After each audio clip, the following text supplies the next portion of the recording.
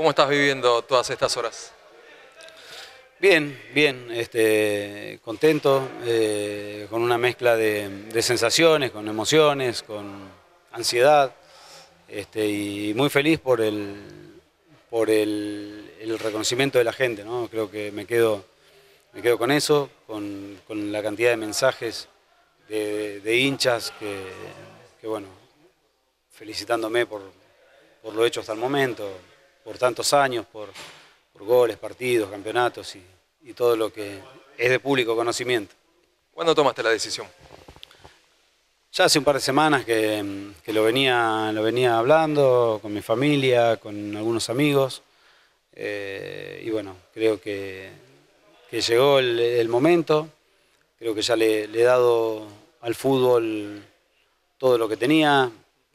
Eh, para algunos puede ser mucho, para otros poco, pero le he dado hasta lo último. Así que me parece que es el momento de de descomprimir un poquito después de tanto tiempo de, profesional.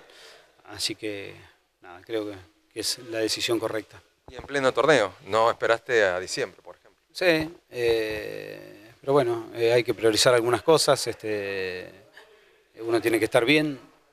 No me sentía por ahí útil en como me gustaría a mí, más allá de poder ayudar cuando me tocaba jugar eh, en otros aspectos. Este, y bueno, creo que, nada, no, no estaba al 100% como para seguir ayudando y sumando en el club. ¿Te imaginas cómo va a ser tu domingo?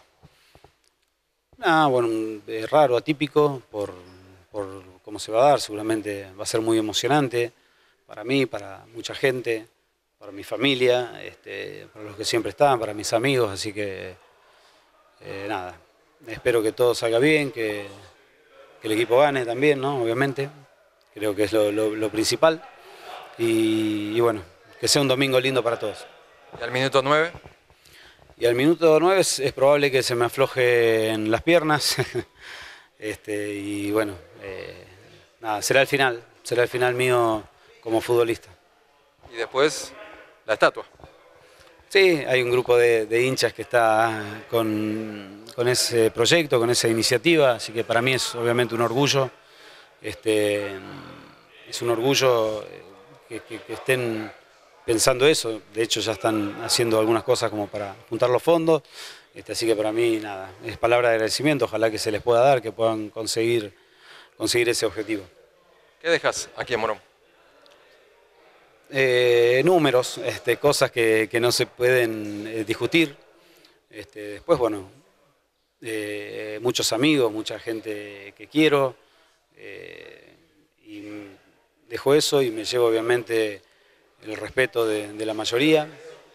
que bueno, eso, eso uno más allá de, dentro de la cancha se lo va ganando día a día. Este, y es eso, nada más.